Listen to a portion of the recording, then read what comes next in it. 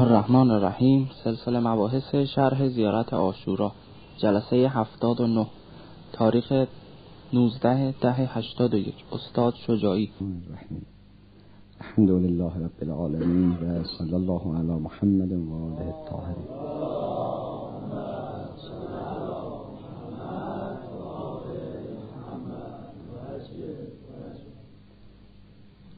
ولعنة الله على أعدائهم أجمعين من الآن إلى قيام يوم الدين.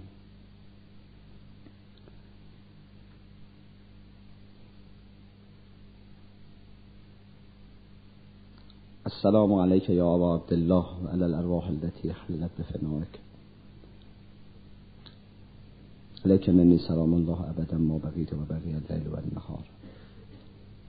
ولا جعله الله آخر العهد مني لزيارتكم السلام على الحسين على علي بن الحسين وعلى أولاد الحسين وعلى اصحاب الحسين.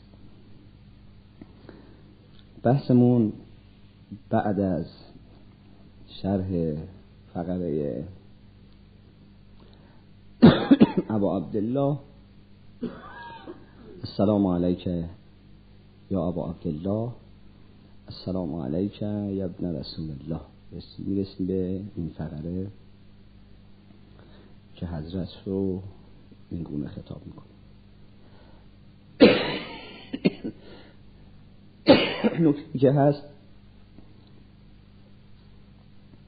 قبل از اینکه به شرح این فقره بپردازیم باید توجه کنیم که زیارت آشورا رو همونطور که امام صادق علیه السلام میفرماید زیارتی هستش که حدیث قدسی است الهام الهی است تنظیم اون. و فرستادن اون با تایید الهی صورت گرفته. به کار بردن کلمات در زیارت بسیار دقیقه. یعنی وقتی خداوند تبارک و تعالی به ما میگه که شما وقتی روبرو میشی با سید شهدا این گونه خطاب کن بهش. و اول ابا عبدالله رو بگو. بعد یبن رسول الله بعد یبن خیارت الله. یا خیارت الله ابن خیاره یبن امیر المومنین و ابن سید الوسیین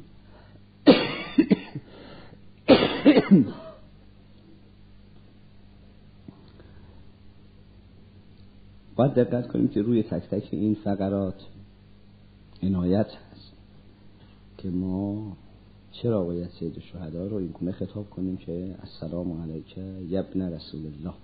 ای پسر رسول خدا ای پسر امیر المومنین ای پسر سید الوسیین ای پسر فاطمه زهرا سیدت نساء العالمین.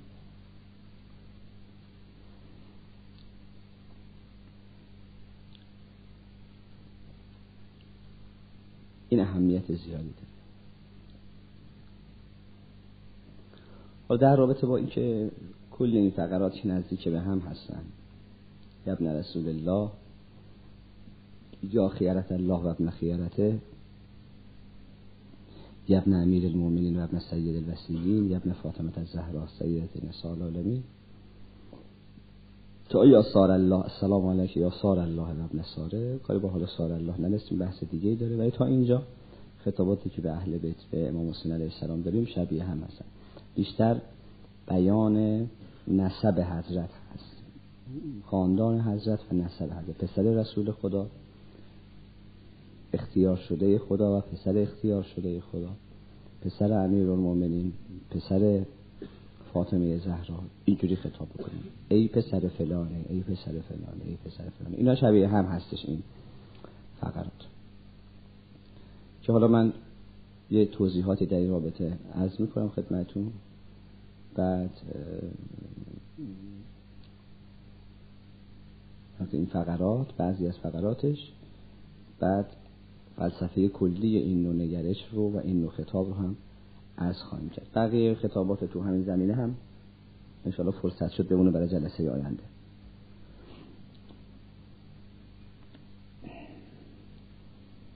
در این که رسول خدا یعنی سید شهدا فرزند رسول خدا هستش ما روایات بسیار متعددی داریم و آیاتی هم در قرآن در این زمینه آمده که حسنین علیه السلام فرزندان پیغمبر هستند پسران پیغمبر هستند. خود رسول خدا صلی الله علیه و سلم میفرماد که هر کسی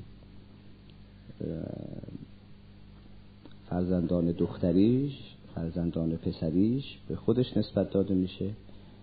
به جز من که فرزندان دخترین به من نسبت داده میشه و اونها فرزندان من هستن. پسران من هستن و من پدرانشون هستم. و دو آیه تو این زمینه هست که من براتون می‌خونم.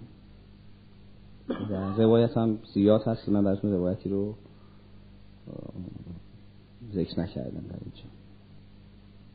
آیه اول که قبلا مفصل در یه جلسه تو همین بحث توضیح دادیم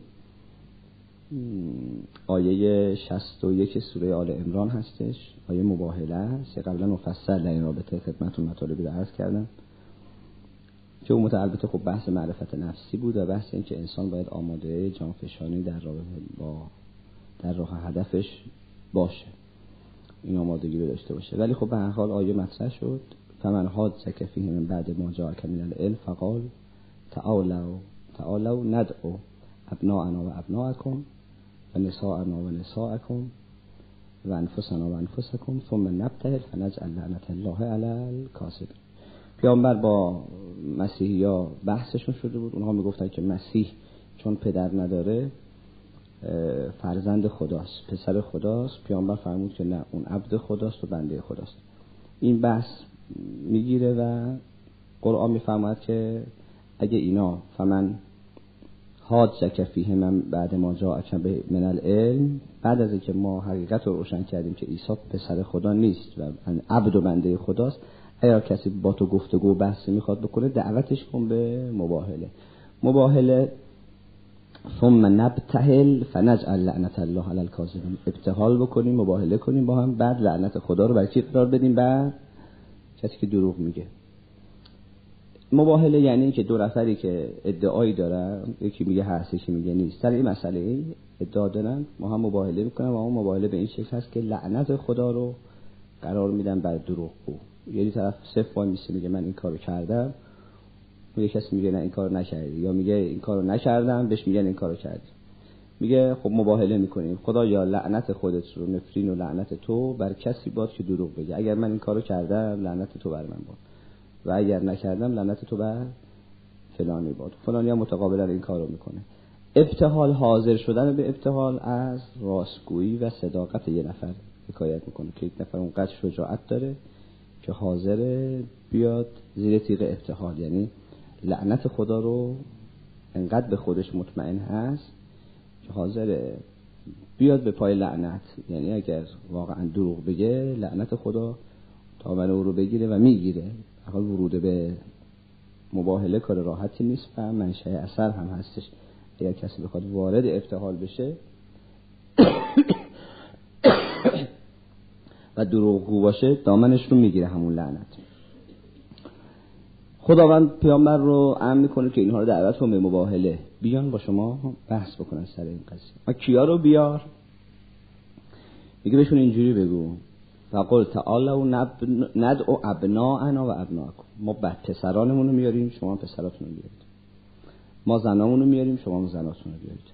ما جانهامون رو میاریم شما هم جانهاتون رو بیارید. و ثم نبته ابتحال می‌کنیم. و بعد لعنت و نفرین خدا رو بر دروغگو می‌گذاریم. که در این آیه شیعه و سنی گفتن منظور از ابناعنا چون پیامبر فرداش که آمد برای مباهله کیا رو با خودش برد؟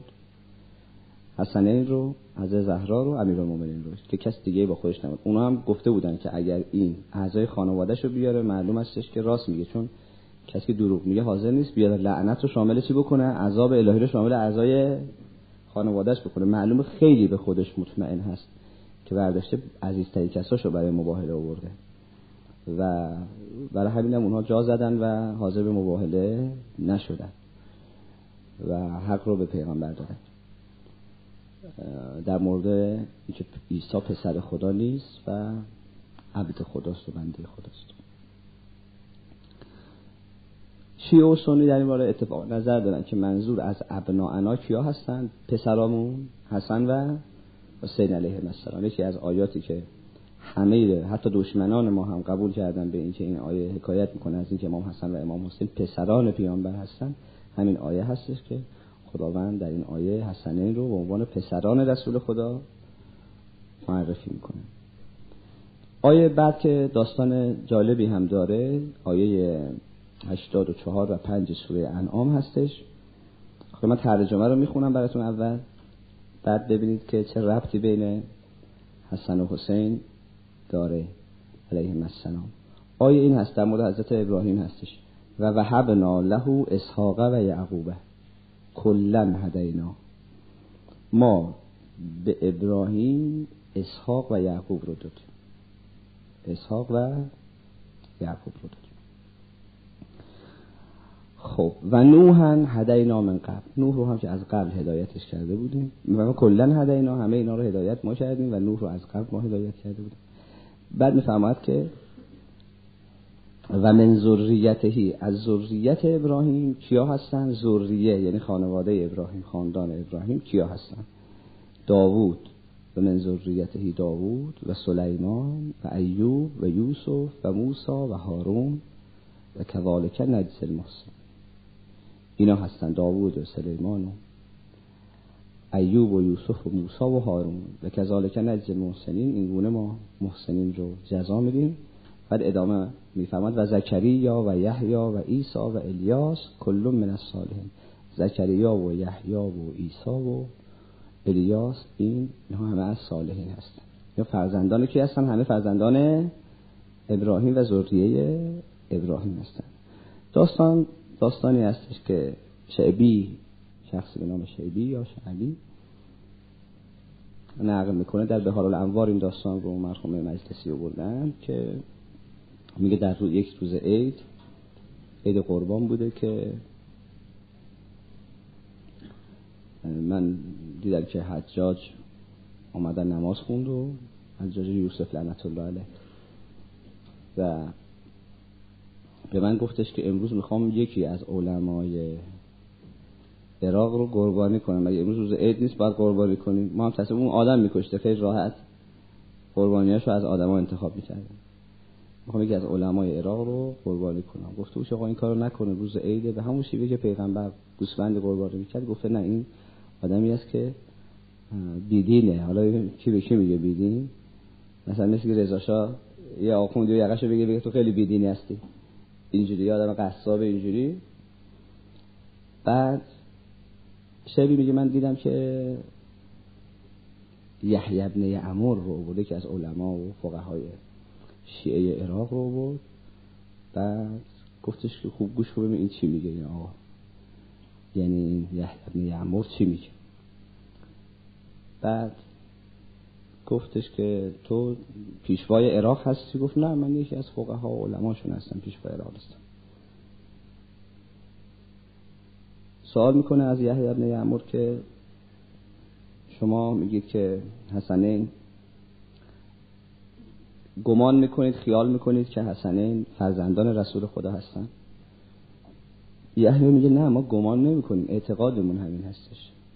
ولی با شجاعت میسته میگه اعتقاد ما این هستش اینا فرزندان رسول خدا هستن شبی میگه من دیدم که حاضر جوابی یحیی داره چیکار می‌کنه؟ کار دستش میگه اونم آدم بدجنس عصبانی که به کوچکترین بهانه آدم می‌کشه. گفت اگه ثابت نکنی دلیلی هم داری و اون بعد از قرآن دلیل داره. گفت اگه ثابت نکنی گردن تو میزن یا باید ثابت بکنی یا گردن تو میزن یحیی میگه که من در قرآن دلیل دارم. جلوتر از که یحیی بگه این آیه که الان خوندم براتون تعالوا ند و ابناءنا و ابناءکم و نساءنا و نساءکم و انفسنا و انفسکم. این آیه رو که دلیل قاطعی هست بر اینکه حسنین فرزندان رسول خدا هستن رو خود حجاج می‌خونه این آیه رو. میگه نکنه منظور دین اولی داره فکر کرد حجاج بعد گفت نکنه منظور دین هستش. خب اگه یحیی می‌گفت منظورم این هستش خب حل می‌شد قضیه دیگه. بعد همین همه آیه که شما گفتی قربان همینه. مثلا دیگه مسئله حل می‌شد. یحیی میگه نه این آیه هست. این آیه دلیل هست که پیغمبر حسنین فرزندان پیغمبر هستن. ولی من منظورم این آیه نیست. دیگه حجاج خیلی لذیذ در اومد. گفت چون دیگه آیه دیگه ما در قرآن نداریم. شیبه هم میگه منم خیلی ناراحت شدم. اصلا خود گفتم که این می‌تونست با قبول این آیه این فقیه می‌تونست بگه همین آیه است. تو همین آیه هم بود واقعا. حالا که دیگه خدا انداخته به زبون حجاج همین رو می‌گرفت می‌گفت بله منظورم همین است و مشکل حل میشه. گفت نه منظورم این نیست. من آیه دیگه سراغ داره حجاج که فکر کرد که آیه دیگه هم نیست میگه که اگر اثبات نکنه آیه دیگه نیاری اگه بیاری که ده هزار درهم بهت میدم. اگه نیاری گردن تو حتما می‌زنم بعد شروع می‌کنه همین آیه رو می‌خونه.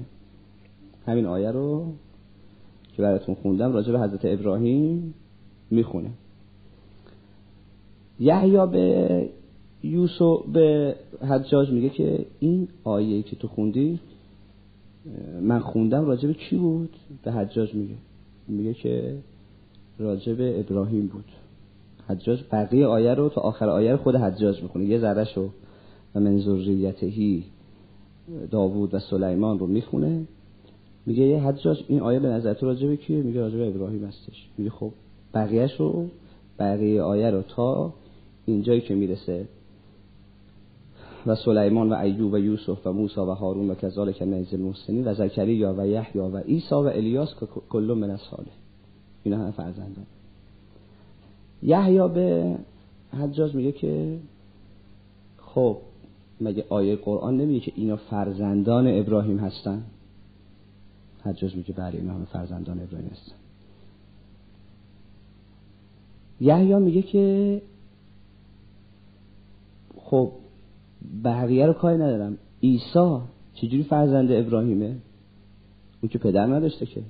ها پدر نداشته نسل به نسل ذریه به ذریه بیاد بخوره به حضرت ابراهیم. از مریم. حجاج میگه از طرف مادرش هیچ مانعی نداره از طرف مادرش هم بشه. بعد یحیی میگه فاصله بین عیسی تا ابراهیم چقدر پیغمبر هستش؟ تو یه طریق مادر. می‌تونه فرزند کی باشه؟ چند نسل گذشته قبل از خودش ابراهیم. فاصله زمانی اینا یه فاصله خیلی زیادیه.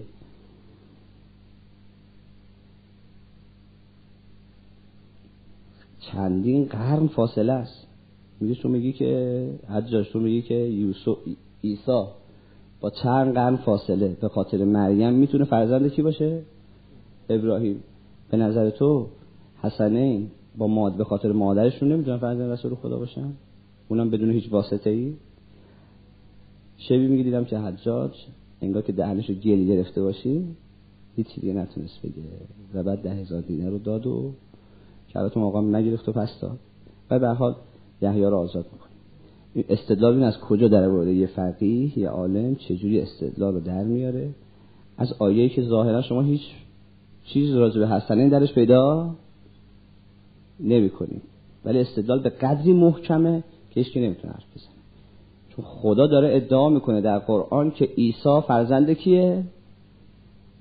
فرزند ابراهیم است. با چه فاصله؟ با قرنهای زیاد فاصله زمانی. از طریق کی؟ از طریق مادر مریم. معلوم هستش که حسنین از طریق مادرشون. فرزندان کی هستن؟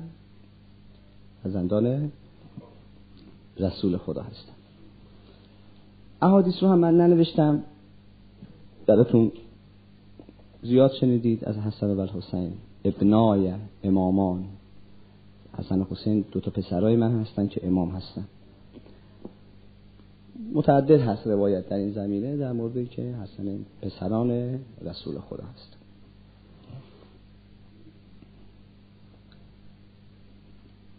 روایت بعدی این در مورد السلام علیک یا رسول الله.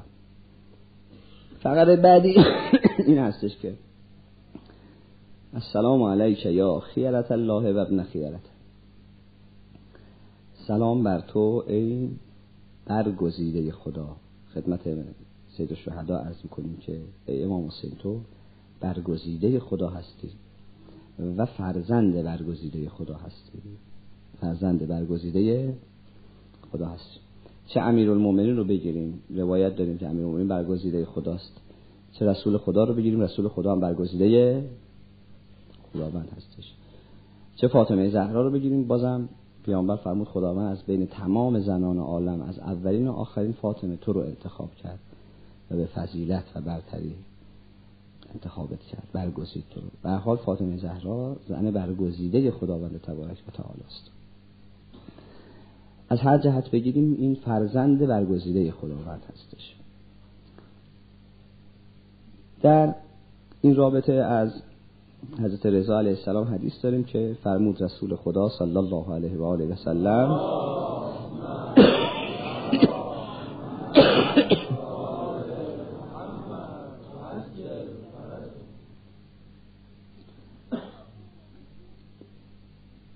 فرمود یا علی تو و اولاد, اولاد تو برگزیده خداوندید از خلائق یعنی از بین خلائق و مخلوقات. تو و فرزندانت برگزیده خداوند هستید روایتش که تصریح کرده برگزیده بودن خیرت الله بودن و فرزند. خیره یعنی انتخاب شده. روایت از خود پیغمبر هستش براتون می‌خونم چون روایتش خیلی شیرین و دلنشین بود. با اینکه طولانی هست ترجیح دادم اینو خدمتتون عرض کنم روایت رو روایت از نبی اکرم هست صلی الله علیه و آله و سلم.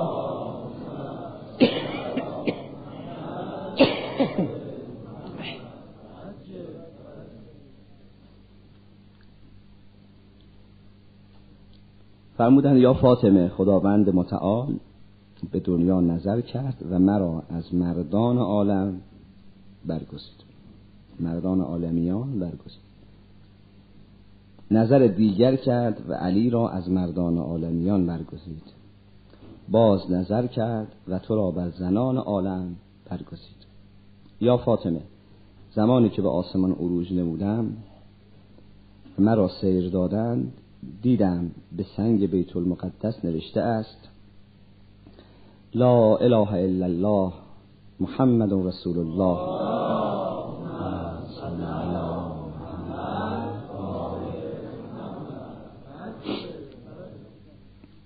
ایدته به وزیرهی و نصبته به وزیره او رو تایید کردم به وزیرش و یاری کردم به وزیرش. او رو یعنی کی؟ یعنی پیامبر. به جبرئیل گفتم کیست وزیر من؟ جواب داد علی ابن ابی طالب. رسیدم به صدرت المنتها دیدم نوشته شده لا اله الا الله محمد رسول الله.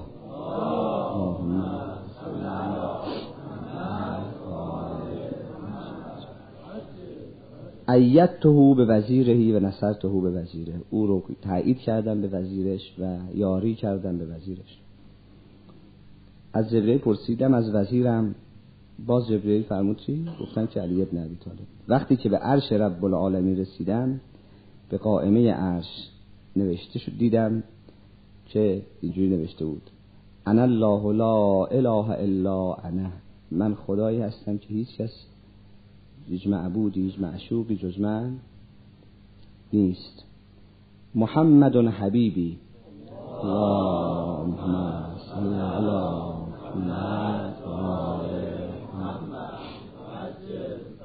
محمد. حبیب من هستش. ایدته به وزیرهی و تو به وزیره. او رو تایید کردم و یاری کردم به وزیرش. وقتی داخل بهش شدم شجره توبا را دیدم. که ریشهش در خانه علی و شاخه از آن در تمام منازل بهشت است. و ما چه رفت رختم بهشت. آخر مرحله دیدم که چی هستش؟ درخت توبا که حالا یه حقیقتی داره. درخت توبا ولی صورت خارجی هم داره. یعنی واقعا حقیقتا درختی هستش که در بهشت شاخش ریشش و اصلش در خانه امیرون هست. این درخت در خانه همه بهشتی ها و شیعیان علی بن ابی طالب یه شاخه داره و شیعیان به واسطه اون شاخه وصل به ریشه و اصل هستن. این در دل همه ماست این شاخه توبا. در قلب همه ما هستش باید ازش حسابی پذیرایی کنیم و محافظت بکنیم و حراست بکنیم که خدای نکرده این شاخه خوش نشه. از کنم خدمتون که آفت نخوره خدای نکرده و از خونه ما این شاخه بیرون. نه بیرون رفتن این شاخه معنی این هستش که ما از بهشتی شدیم خارج شدیم. به خاطر که این در خانه همه اهل بهشت شاخه توبا وجود داره. و خیلی هم شیرین از خدا اشاره نصیب هممون کنه این شاخه توبا رو زیارت بکنیم انشالله و حقیقت اون شاخه توبا رو بهش نائل بشیم و اون رو ببینیم. و لذت بخشی هستش که قبل از اینکه انشاءالله منتقل بشیم به اون عالم و در خانه خودمون این رو ببینیم تو همین دنیا بتونیم شاخه توبا رو ملاقات بکنیم و این رو احساسش بکنیم و لذت ببریم از این شاخه توبایی که در خانه همه ما هستش این عظمت امیرالمومنین علیه السلام هستش که بعد در فقره بعدی خطاب می‌کنیم به چی؟ به اینکه السلام علیک یبن امیر المومنین و ابن سید سلام بر تو ای پسر امیر المومنین امیر المومنین خطابی هستش که ویژه امیر المومنین علی علیه السلام هستش. ائمه علیه السلام فرمودن هیچ کس جایز نیست به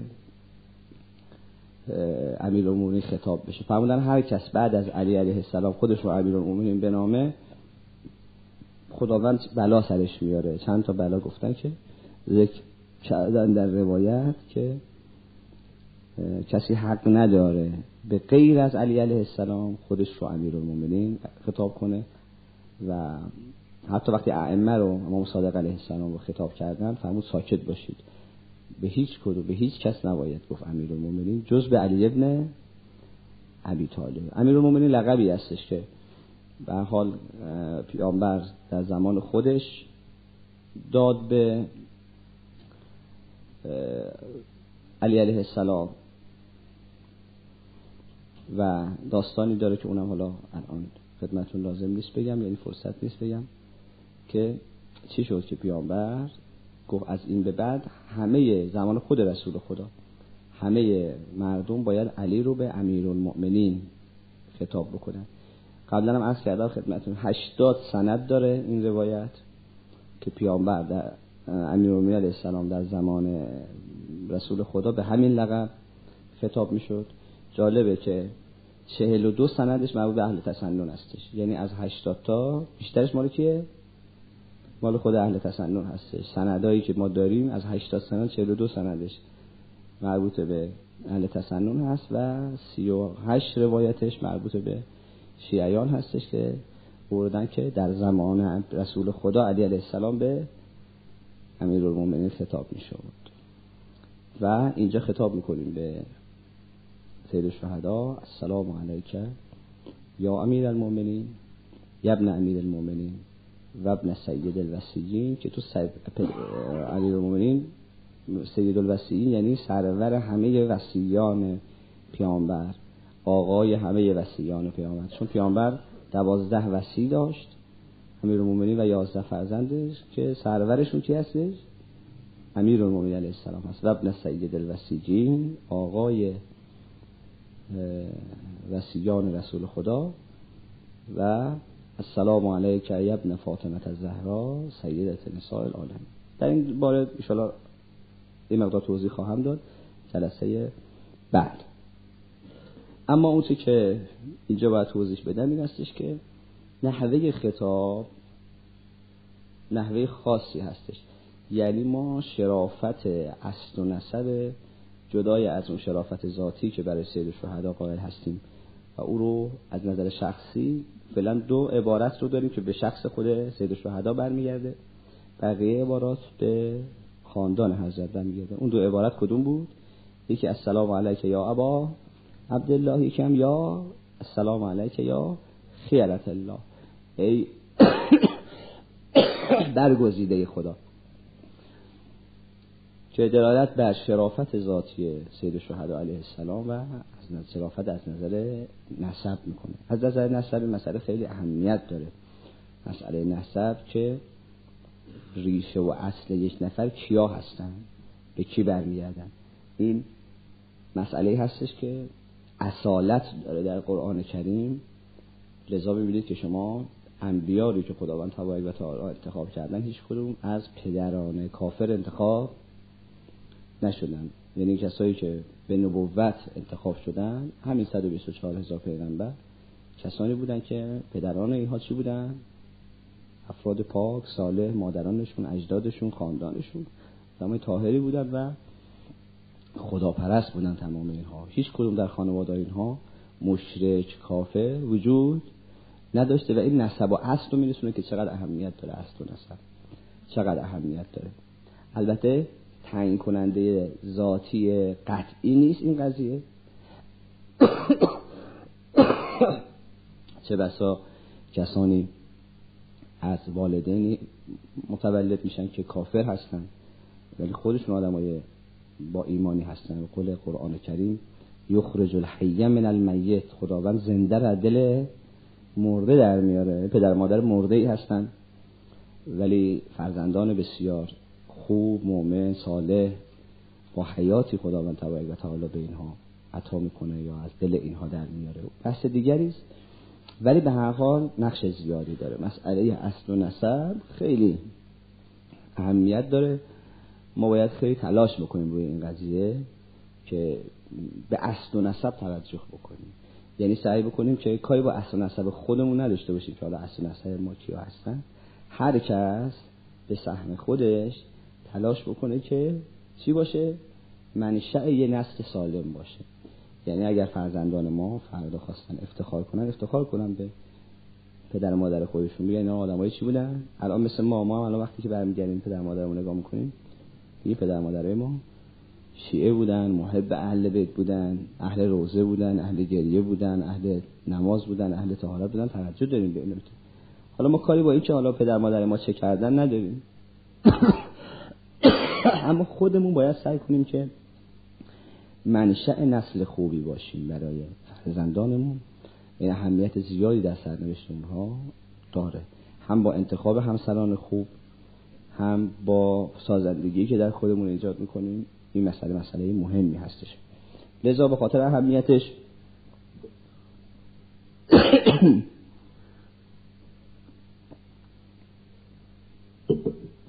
مسئله ذریه مسئله بسیار بسیار مهمی هستش.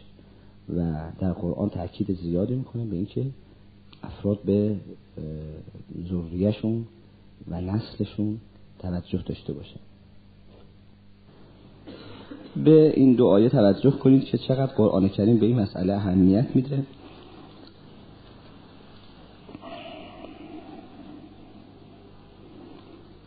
ان الله هست تفا چند آیه هستش من تو انتخاب کردم نزدیک هم هستش در سوره آل امران آیه سی و دو. ان الله هست تفا آدم و نوح و آل ابراهیم و آل امران علی العالمین.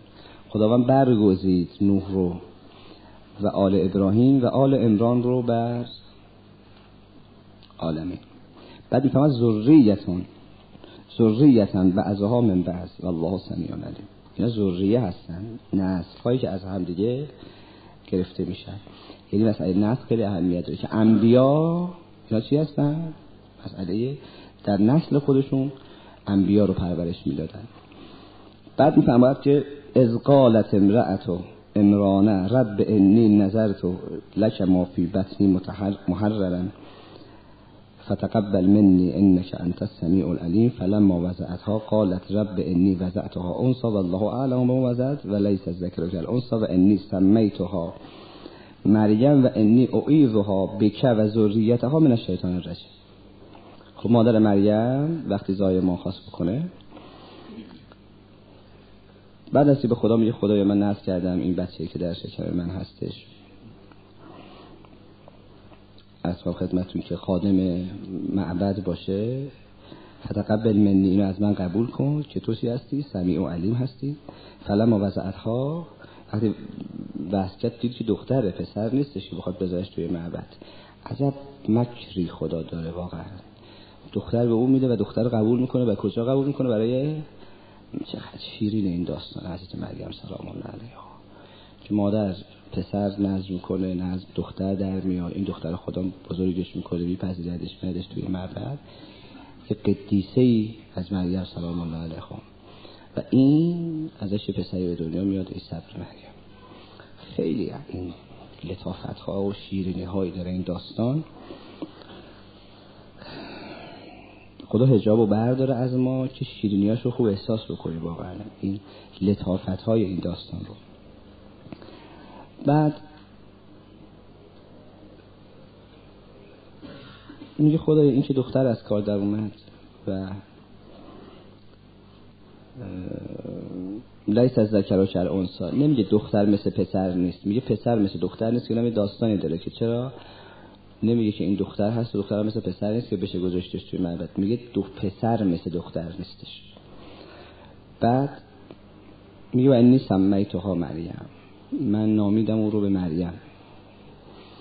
نامیدم مریم. قابل توجه آقایونی که میگن مرد سالاری باید باشه و اسم بچه ما انتخاب بکنی. قرآن داره بگه که تی میگه که مادر رو احترام بذارید مادر اسم انتخاب بکنه و انی سمیتها. ببین اینجا پدر مریم اسم نمی‌ذاره. کی اسم می‌ذاره؟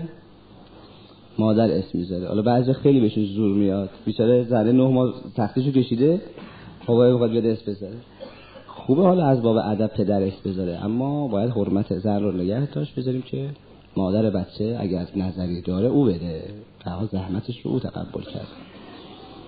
حالا بیرون من نگید بزنید و انی سمیتها ها مریم.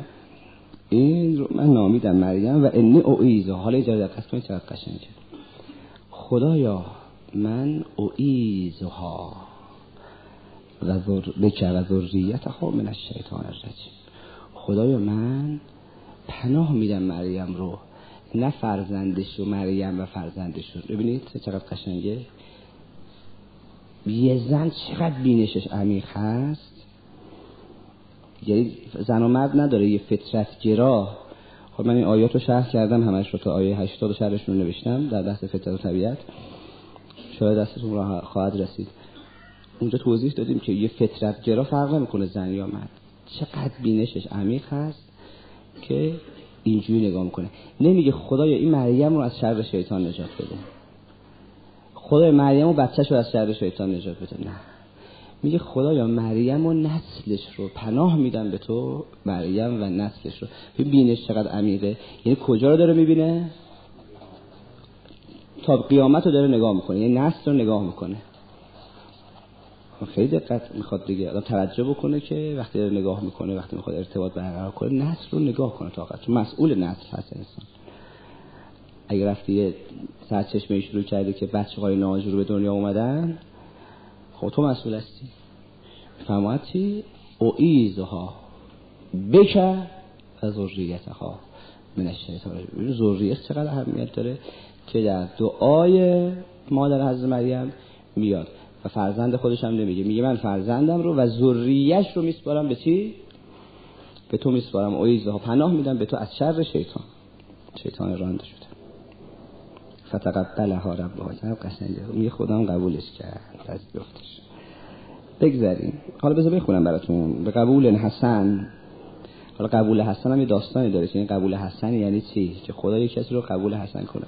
خدا به حق محمد آل محمد. ماها رو هم به قبول حسن قبول بفرما. میشه ما رو قبول کنن؟ خیلی خوب است. اگه ما رو بپذیرن اینجوری خدا بگه ما تو رو پذیرفتیم. به قبول حسن پذیرفتیم. قبولت کردیم به قبول حسن خیلی خوب است اگر یه زمانی اینجوری بگن یه زمانی اهل بیت علیهم السلام وجود مقدس آقا امام زمان علیه السلام بشنریم ازش که ما رو به قبول حسن پذیرفت. واقعا زندگی بدون پذیرش اونا هیچ معنا نداره. ما هر جا برسیم وقتی بفهمیم که مورد قبول اونا نیستیم خیلی زندگی بد و بیمزه میشه. زندگی فقط زمانی مزه داره که اونا ماها را قبول کرده باشه. یعنی بدونم من که اینجا نشستم پذیرفته هستم. یه قبولی نسبت به من کردن یه پذیرشی از من دارن. ما را خودشون می‌دونن. این خیلی اهمیت داره. حالا شما نگاه بکنید مریم چجوری هستش که خداوند اینجوری توی تاریخ برای ما می‌ذاره این آیه رو. فتقبلها ربها به قبول نحسن. خدا قبولش کرد. اما چه قبولی؟ خوب قبول حسن. مریم رو پذیرفت. انشالله نصیب ما بشه. و انبتها نباتا حسنه. انبتها یعنی رشدش داد. خدا او رو رشدش داد. نبات حسن. رشد حسن داد. خیلی ما رشد دادن. خود ما هم باید همینجوری باشیم. و انشالله بسپاریم خودمون رو به اهل بیت که اونا ما رو رشد بدن. میشه اونا ما رو قبول کنن و بگن ما شما تربیت کردیم. رشد حسن دادیم به شما. به جای که هر تربیت بشیم وقتی می‌رسید چل سال پنجاه سال ببینیم هرز رفتیم هممون اصلا رشد خوبی نکردیم. بیاد گیاه و درخت کج و موج و خراب خیلی بده. کاش باید سپورت باید التماس کرد به اهل بیت که ما رو قبول کنن و به خودشون تربیت بکنن. بسپاریم خودمون رو بشون و کفل ها زکریا به مریم چقدر قشنگ چقدر شیرینه چقدر قشنگه که کفالتش کی به عهده می‌گیره؟ زکریا یه پیغمبر خدا به عهده می‌گیره. کل ما دخل علیها زکریا المهراب وجد عندها رزق نمی‌تونم از این آیات بگذرم. اینقدر شیرینه. که حالا یه ذره بحث خارج بشیم عیبی نداره. هر وقت که زکریا داخل می‌شد به مریم میومد سر می‌زد بهش. زکریا المهراب وجد عندها رزقا. قال یا مریم انال لک هازا می‌دید که رزق زیادی هست میوه های زیادی هست نزد مریم غذاهای متنوعی هست. مریم از کجا اومده؟ قالت هو من عند الله از نزد خدا. چه حرفایی چه ادعاهایی. خدا فرستاده برام. تو خدا چجوری می‌تونه دوست بشه و بنده هاش ان الله یرزق من یشاء و غیر حساب. یه تکون محکم به قول خودمون یه برق سفاز می‌زنه به زکریا. چون زکریا بچه دار نبود دیگه. یه تکون به زکریا میده. میگه زکریا ان الله یرزق من یشاء به غیر حساب. خدا بدون حساب به هر کس بخواد میده. برید سراغ بدون حسابا از خدا. در فرمودید؟ هی نبندیم خودمون شیطان بیاد ما رو ناامید بکنه محدودمون بکنه. ها؟ یاد بگیریم که به خدا بگیم خدای ما که لیاقتی نداریم بدون حساب به ما بده. ان الله یرزق من یشاء به غیر حساب. به هر چی بخواد بدون حساب میده. یکی از راه های رزق خداستی داره یاد میده به ما که رزق چجوری بخوریم. آه؟ یاد میده به ما. که از کجا رزق بخوریم. یکی از راه های رزق خدا همینه. ان الله یرزق من یشاء به غیر حساب. هنالکه اینجوری که شک وارد کرد به زکریا هنالکه اینطوری شد که یه دفعه چی شد؟ زکریا دادش در اومد. دعا زکریا ربه رفت تو محراب و ایساس شروع کرد بگیره کردن. قال رب حبلی ملتون که ذریتا طیبتا. انک سمیع الدعا خدایا به منم بده. همون که مریم بدون حساب دادی. نمیگه خدای من بچه می‌خوام بچه میخواستا. اما نمیگه من بچه می‌خوام. میگه نسل به من بده. حالا دقت کنید مثلا نسل چقدر اهمیت میگه خدای به من نسل بده اما نسل چیز ذریتا طیبه. من بچه طیب می‌خوام. نه می‌خوام سر به بچه‌ای که طیب نباشه نباشه. امیرالمومنین علیه السلام فرمود لا تجعل اکبر همه که به یا اکثر همه که به اهل که و اولادک. بیشترین همت تو به خانوادت نگذار به اهل و اولادت. انکان و اولیاء الله اگه اینا دوستان خدا باشن فما یدعی اولیا خداوند اولیاء خودش ضایع نمی‌کنه. نگو اگه من برم زفه پس این زن بچه منو کی می‌خواد نگه داره؟ اگه من برم فلانجا چی چی میشه؟ اگه من چیکار بکنم؟ فما اینا اگه دوستای خدا باشن خدا بیشتر از تو اینا رو دوست داره. هیچ وقت ضایعشون نمی‌کنه. فکر نکنید ما روزی دهنده هستیم. اگه ما نباشیم یه طوری نه. انقدر خانواده هستن بدون مرد خوشبخت. بدون پدر خوشبخت زندگی کردن. خیلی خوشبخت از اون موقعی که باباشون بالا سرشون بود. خیلی راحت تر از اون موقعی که باباشون و پدرشون و مادرشون بالا سرشون بود. خیلی راحت. خدا وقتی بخواد اینجوریه و کانو اعدا الله اگه خانواده شما بچه های شما دشمن خدا هستند و آدم های فاسق و فاجری هستن شما هم اعدا الله. چه خبر انقدر به اینو می‌رسی؟ من بچه ممکن آدم فاسدی باشه. ولی هزاران بچه هستن توی خیابون توی این جامعه. می‌تونن بچه های من باشن. برای منم خیلی بهتر از بچه خودم باشه.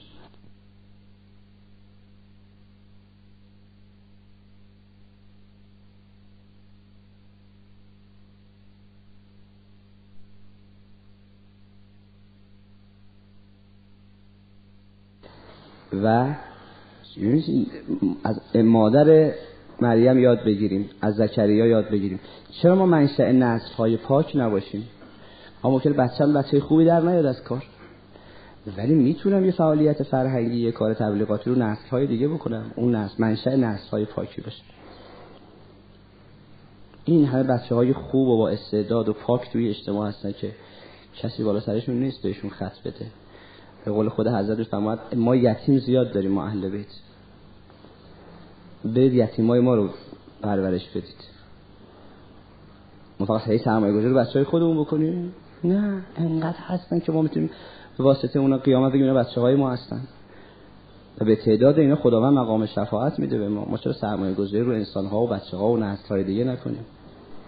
رو اونا نه سرمایه گذاری کنیم. ببینید زکریا وقتی میگه من ذریه طیبه بده ما اینجور برداشت نکنیم که فقط برای خودش یه ذریه طیبه می‌خواست یه نسل. حالا ما نسل ما نشد. ولی ما می‌تونیم هر کدوممون دست نوازش به سر کسایی بکشیم که اونا منشأ نسل های خوب و طیب و طاهری باشن. سرمایه گذاری برای اون نسل ها بکنیم و نظریم نیرومون انرژیمون تواناییمون که می‌تونیم انسان های زیادی رو دستشون رو بگیریم. و منشأ پاکی نسل و پاکی این انسان ها بشیم و دست ما در برن. همه که ما همش زن بچه داریم و کار زندگی داریم. نه. ما به اونا می‌رسیم به اندازی که وظیفمون هست. اما حواسمون باشه که خانواده ما فقط زن بچه‌مون نیستن. خیلی هستن بچه توی این خیابون توی این کوچه توی بازار توی این کشور. خارج از این کشور که همه می‌تونن بچه های ما باشن. چرا با انقدر پس پسند باشیم و کم ببینیم؟ به جای دو تا بچه می‌تونیم هزاران بچه داشته باشیم. ما این هزاران بچه اگه از ما خیر بهشون برسه روز قیامت ما در تمام اعمال اینا شریک هستیم. خداوند به ما هم میده. و اینا میشن شعونات خود ما در قیامت. ما چرا انقدر کوچیک باشیم؟ و کوچیک ببینیم و نسل رو ضعیف ببینیم. بگیم نسل یعنی همین به نسل خودم. نه. انبیا آمدن که روح ما رو بزرگ بکنن. یه موقع می‌بینی من با 500 هزار تومان سرمایه گذاری برای یه بچه یک بچه خودم نیست.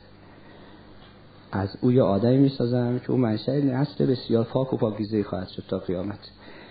اینجا ظاهرا 500 هزار تومان سرمایه گذاری کردی. ولی هیچ کس جز خدا نمی‌تونه حساب بکنه که این سرمایه گذاری یعنی چی. سرمایه گذاری که تو برای یه بچه که بچه خودت کردی.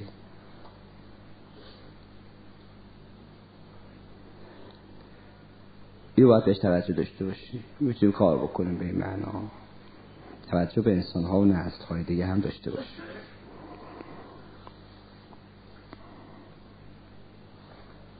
خب این چند تا آیه در مورد نسل.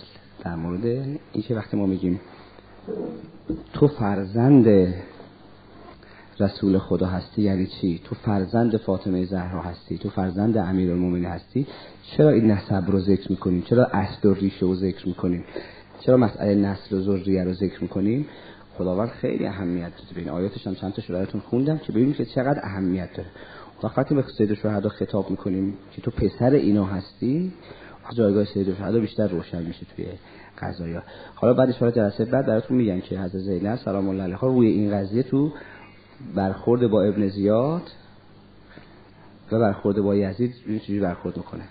میگه یزید تو با ما اصلا قابل مقایسه نیستی. تو می‌دونی بچه های کی هستی؟ تو می‌دونی بچه کی هستی؟ یبن طلقا به ابن زیاد میگه یبن مرجانه خب مرجان یه زن معروفی بوده فاحشه بوده. به رخش می‌کشه. میگه ابن زیاد یاد نه تو بچه کی هستی؟ یا تو بچه همون زن فاحشه هستی. بهش میگن زیاد ابن عبی زیاد پسر باباش. چند نفر ادعای پدری اینو کرده بودن. ابن زیاد رو چند نفر ادعای پدریشو کرده بودن. از نمی‌دونست واقعا بچه کیه. از زینب به رخش می‌کشه. میگه تو ما ببینی بچه کی هستی تو بچه کی هستی؟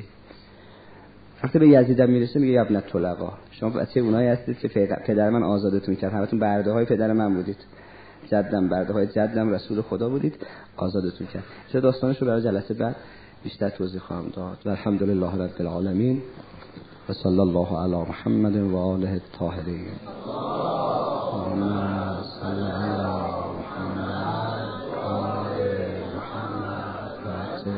محمد